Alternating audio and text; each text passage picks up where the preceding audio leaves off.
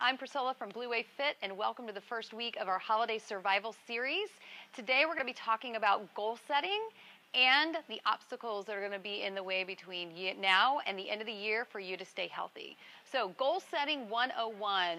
Let's set a goal. We're going to do that using the SMART acronym. If you've never used that before, well, you'll learn something new today. So, take a look here. We've got our SMART. And we want to make sure that that goal is specific. That means that it has a number in it. We want to make sure that goal is measurable. So it is something that you can count or measure definitively. Makes us feel good when we know that we've accomplished that. It needs to be an attainable goal.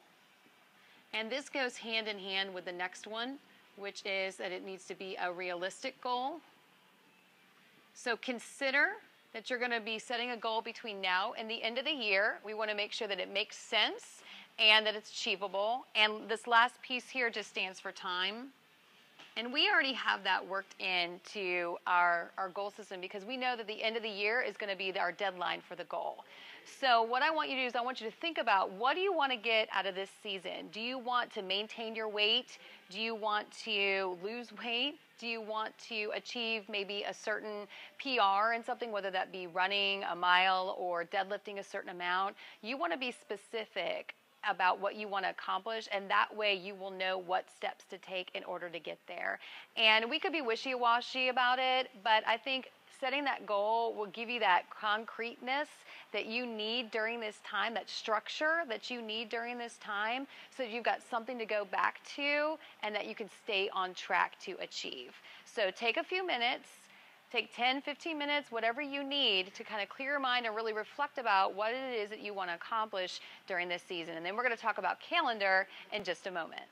All right, well, the second thing I want to talk about with you is let's take a look at our calendar and we're going to identify obstacles that stand between you and the end of the year feeling guilt free about this season. I brought mine in. It's a paper calendar I keep on our refrigerator. Yours may be digital. But what I want to show you is that I went ahead and wrote out things that are coming up in my near future that I need to be prepared for. So first of all, I've got my daughter's birthday that's coming up, as well as my best friend's birthday. It's her 40th, so it's a big deal. I got to be ready for that. And then lastly, we have Thanksgiving here, and I want to prepare for what that's going to look like. For those of you that are traveling, I especially want you to put that on your calendar and to know ahead of time. Get it out, put every commitment, every event, anything that you're doing, and between now and the end of the year, you want to go ahead and put it down and be able to know that it's coming. We're going to talk more about what we're going to do for each of these events, but right now I just want you to know what they are and when they're coming.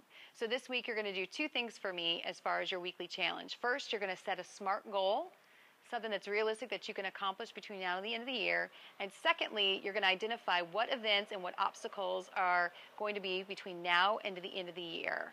And if you want to join our conversation, check out the Twitter account that we've got going on. It's hashtag holiday SS2014.